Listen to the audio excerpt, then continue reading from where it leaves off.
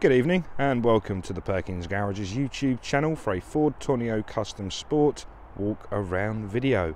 But before we get started, if you are enjoying our content, hit on the subscribe button and never miss a moment of our content ever again. This here is a magnetic grey Ford Tourneo Custom Sport L1 featuring the 2 litre Eco Blue engine producing 185 PS of power.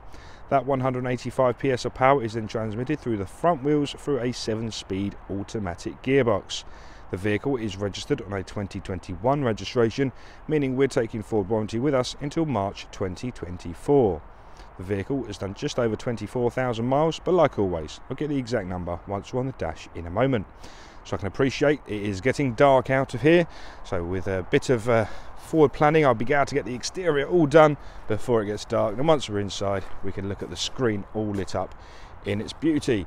So the near side front is the first port of call, then displaying to you the remote central locking key is the next. Clicking on the unlock button is going to wake up the beautiful daytime running lights. They give you the ultimate visibility no matter the lighting condition.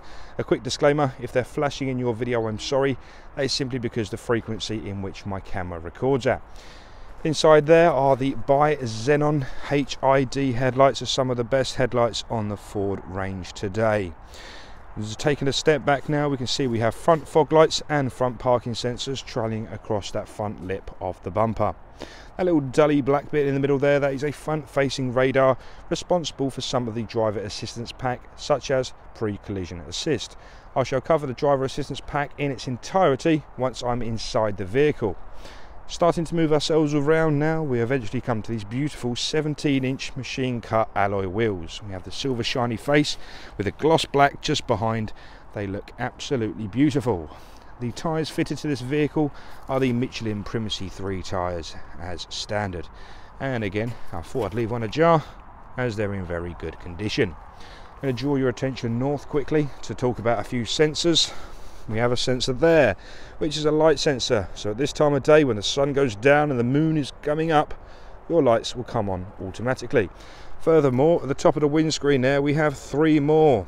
Going from left to right the left hand one is a light sensor for the automatic high beam the little triangularly shaped one in the middle, it is a traffic speed sign recognition camera.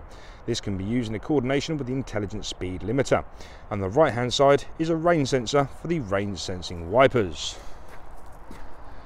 Starting to make a way around the vehicle now. So on the driver's door is the security locks ensuring it's only you getting in this vehicle. The Tourneo Custom Sport comes with rear privacy glass as standard and it really aids with that two-tone colourway so with the gloss black wheels and the rear privacy glass, this looks lovely. So at this stage of the video, I'm going to take a step back and gently shimmy the camera all the way down the offside of the vehicle. Like so, hopefully displaying how beautiful all of these body panels are. So at the bottom now, the offside rear bumper, we can just spin the camera around and show you the offside rear. There we are. Okay, moving ourselves around the rear bumper. We have rear parking sensors all the way around that rear bumper. I'll come to that in a minute. And they continue on that bottom lip of the bumper there. These rear parking sensors are complemented beautifully with a high definition reversing camera. Drawing our attention over to the near side of the vehicle now, we're going to try and give it the exact same treatment as we did the offside. So starting nice and high up, those beautiful new outdoor lights of ours are working a treat there for these shorter days. Sell too many cars for me to get all the media in, which is a big thank you. There we are. That's the near side. Now we can go down to the near side rear wheel. Looks fantastic. And now we can follow that all the way down to the near side front wheel and give you a good look at that. So I mentioned at the start of this video, this has the 2 litre Eco Blue engine. What do I mean by Eco Blue? That means it has an AdBlue reservoir. AdBlue is a solution that um, basically it gets sprayed onto the exhaust gases eliminating nitrous oxide making this a nice clean exhaust burn meaning this is ULEZ and also a Euro 6.2 compliant vehicle AdBlue is a fantastic system on all diesel vehicles to make them a nice clean exhaust. Anywho, that's enough about the mechanics lesson. I'm sure you're all falling asleep. So this is the uh, the boot or tailgate section of this beautiful Tourneo Custom Sport. In there is, honestly, trust me on this, I've done it enough room for a baby alligator. So up to 10 years old, the alligator fits in lengthways. You have to curl the tail around, but all serious though, you get ample of suitcases. We have eight seats in this vehicle. I reckon you're going to get eight suitcases stacked up. Not a problem. Couple of dogs, not an issue. Um, goal posts, depends how you stack them. Fishing rods, not an issue. Anyway, that's enough about that. It'll be dark soon, Dan. Underneath here is a full-size spare wheel uh, with all the relevant tools and jacks supplied underneath the driver's seat to get you out of trouble if you shall get in it. Underneath that cover there is the rear air conditioning blower motor, which I shall come to in a second. Okay, so that is the exterior all taken care of. Now let me show you my demonstration inside the rear. So let me give you six seats in the rear of this Tourneo. Ah, aha, these are folded down. So I thought I'd just show you the rear seats to begin with. So there we are. The uh, two end seats are always ISOFIXing seats. If you do carry those smaller humans of this world, clip their kiddie seats in, keep them nice and secure on transit. That said, these other two are also ISOFIXing. So you get four ISOFIXings in total in this vehicle. I've left this middle one down as a demonstration because the middle seat can also double up as a table slash cup holder as well. The party piece for these Tourneo Custom Sports are the seats. I can't lie to you about that. So I've just folded them in half and if I pull on this lever here that will then pull the seat up into this position and from there you can then extract that whole seat as one unit out of the vehicle. So whether you only required two seats I need to take the six rear seats out and have a transit van for the day. The possibilities are endless. But at the moment we are having looking at two banks of three facing forward. This row can rotate 180 degrees so you have two rows of three facing each other. So effectively this seat here will become the right hand seat facing forward. All the maps interchangeable as well so as you do so they will swivel round making it all perfectly laid out once again. So rear passenger uh, comfort, entertainment, let me talk you through it. Each window has a sunblind, retractable sunblind, keeps the sun out their eyes. Everyone has a phone these days, you need to charge your phone. Six seats, you have six USBs. Two down there, two more down here, and two on the back of the handbrake. So every single passenger in the rear is going to be nicely charged up when you get to your destination draw your attention to the roof where we have a rear lighting system. This is probably the brightest I've ever seen it, to be honest with you. Uh, rear speaker system and rear air conditioning ducts. The rear air conditioning controls can be found on that lovely panel there. Wonderful. So that is effectively the rear of a, a Custom Sport in a nutshell.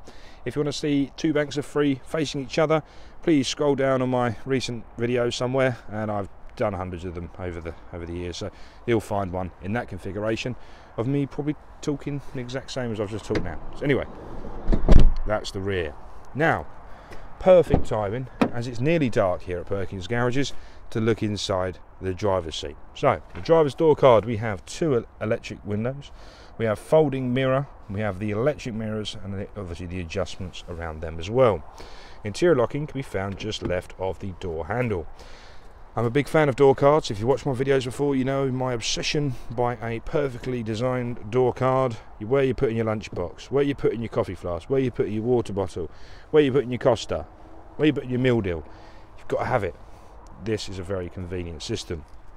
As I referred to earlier, underneath the driver's seat, Bosch is the tools and jacks required to change the spare wheel on the side of the road.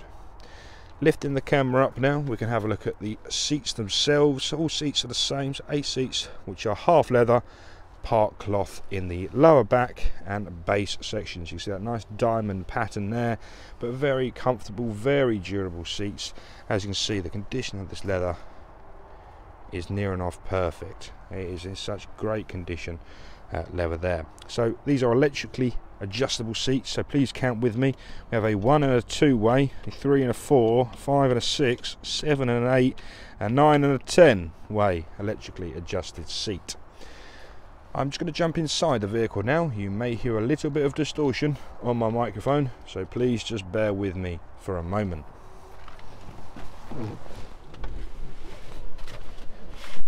Okay, like magic, we're now inside the vehicle. So, quickly put, depressing my foot on the brake even, Friday evening guys, bear with me. Turn the key round, that gains us power to the vehicle. So, I'm going to give you a quick tour around the dashboard and everything you need to know. Well, let me just turn the air conditioning off, otherwise you won't be able to hear me. Okay, the left hand side of the dashboard there is an RPM times 1000 gauge, counting the revolutions of the crankshaft, otherwise known as the output power of the engine. At the bottom there we have a coolant temperature sensor, we have a, a gear selector indicator because this is the automatic variant, and also a fuel gauge. On the furthest right hand side there we have an analog speedo with miles per hour around the outside and kilometers an hour in the middle. In the middle section is a digital driver display. I'm going to be controlling that display using the return, the OK up and down, and the menu button on the right hand side of the steering wheel. I just zoom in for this event. So the top left of the screen is the odometer. So I said this vehicle had done 24,000 miles. I actually lied. It's actually 23,990.4. At the top of there, we also have the auto light functions. You can see the lights are currently on auto. And we have the ambient air temperature. It's quite chilly, 8 degrees. At the bottom there, we also have the traffic speed sign. So it, we've gone past the 60 sign on the way to the garage there. Let's, let's pick that up. And we also have the auto stop start information. Scrolling down on the arrows, we come into different trip computers. We have My View. So in My View, you can customize what you'd like to see on the screen where it's a trip computer, eco coach, calm screen, we have digital speedometer on there, fuel economy, so you can customize this to your preference. Going down once more, we're onto the driver assistance. So if I just expand that menu, the driver assistance pack on this vehicle includes blind spot assist. So in the end of both wing mirrors is a blind spot. Oh, it's too dark. Blind spot assist monitor there. That little that will illuminate orange if someone's in your blind spot, either on the near side or the offside of your vehicle. So very lovely bit of technology indeed. Pre-collision assist, as I mentioned earlier, we have a traffic sight recognition, lane keeping system, driver alert, cross traffic alert, eco coach, cruise control, and your speed limiter, which I mentioned earlier, can be set to intelligent, and that will work in a coordination with the speed sign, traffic speed sign. Down once more into navigation, once more into audio, and once more into phone connectivity. We can expand the settings there and we have all display settings, also vehicle settings such as, for example, lighting for your auto high beam or down to mirrors for auto folding mirrors. Everyone loves an auto folding mirror, who doesn't? And we've got the remote start there as well. If you don't know what remote start is, please download the Ford Pass Connect app. And once you purchase this vehicle, you can connect one and two together and that will give you the ability of remote starting so you can start the vehicle without being in it. Isn't that a fantastic design? So you can set your climate control, your heated seats, even select the duration of that as well. So whilst you're having your coffee in the morning, all your neighbours are awfully jealous because your vehicle is getting warmed up whilst you're still in the comfort of your own house. So anyway, that's the vehicle settings. Going out there, that is a really lovely menu. It's really nice to uh, navigate around. Anyway, let's continue so the right hand side of the steering wheel, again, the arrows control the screen, voice command button, pick up, decline, previous and next song function. The left hand side of the steering wheel is where you'll find the adaptive cruise control controls. so we have standby top right, we have your speed limiter bottom right. We can set your speed using the little toggle switch in the middle there. So set your speed plus or minus in increments of 5 miles per hour. We have cancel and this button here is for the adaptive cruise control. So this cruise control system will adapt its speed based on the vehicle in front of you. So this button will set the distance to the vehicle in front. Very very clever I tell you if you're not using cruise control already, start using it because it's fantastic for your MPG. You really will see a noticeable difference because it's going to be the vehicle determining the rev range rather than your right foot, so you're not going to be burning diesel or petrol unnecessarily. Below we have media controls such as volume minus, volume plus, and also a mute button. Progressing now into the central reservation of the. Is it better with a light on, do we think? Yeah, I'd say so. So here is the controls for the beautiful automatic gearbox. Could be considered to be a semi-automatic because we have the up and down function on the right hand side. We can bring it down to relevant gear positions. Let me release the handbrake first. I've learnt from my lesson. Into reverse there, then that summons the reversing camera. Uh, so you've got a very lovely high definition rear camera with your proximity for the front and rear parking sensors on the top right hand side of the screen. Returning the vehicle back into park and applying the handbrake again so I don't forget. So we're going to start down here and we'll cover the screen in a second. So we've got some lovely adjustable cup holders, another 12 volt socket, so that's three 12 volt, three 12 volt sockets in total. Another USB A, this one's perfect for your data connection, so if you plan on using Apple CarPlay or Android Auto, plug your phone in using a USB data cable in that port there, and that will uh, mirror your phone onto the Sync 3.4 module. Just above it there we have all the controls for the heating, ventilation and air conditioning. This vehicle is fitted with two heated front seats which are three-way electrically adjustable. In the middle there is the button for the electronically heated front windscreen. Again a beautiful bit of specification for the winter months.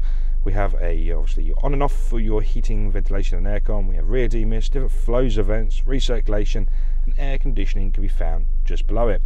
The rocker to the right hand side is your temperature controls with max demist to the right and max air conditioning to the left. We have a parade of buttons just next to it. One was one going from left to right. Uh, we've got the traction control off button. We have a mode button. So this vehicle comes with a normal and also an eco drive mode. The P button is to turn off the parking sensors and the P button with the steering wheel will activate Ford Self Park Assist. So if I can draw your attention to the sync module once again, yes, this vehicle will quite literally park itself for you. So if you do struggle with your parking, why not purchase a vehicle that will park itself? It's a fantastic idea. And that includes parallel park in, you've got a bay park in, and also a parallel park out. Wonderful. Use the indicators to dictate which side of the road you shall be parking on there we are. Follow the steering and uh, it's trying to pick up that potential parallel parking opportunity in front of me which obviously we are not going to do. So exit that system once again. So this is a sync 3.4 module. Let's see if this is better with the light off. Yeah i reckon. So we have audio bottom left. In audio we have various sources such as AM, FM, DAB and Bluetooth audio phone connectivity. We have your navigation in there. So navigation click on the search box there. Nice and easy to use. I'm a big fan of it. If you'd like to come to Perkins to look at this Tourneo Charlie Mike 77 oh, click accept the license first guys. Don't accept the license it won't let you use it. CM 77 6SA simple as that. Click the search box and that will navigate you straight here to Perkins Garages clicking the return arrow once again back to your home screen.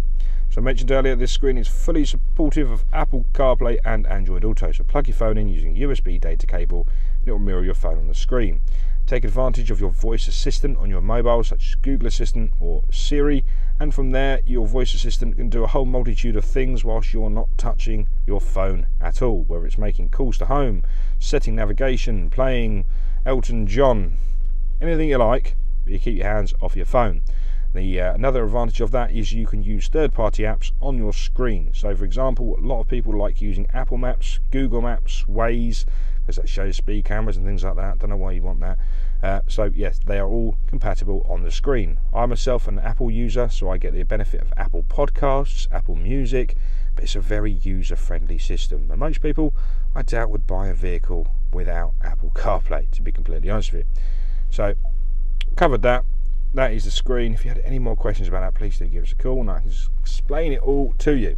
Right in the interest of keeping this under 20 minutes very quickly beautiful document holder.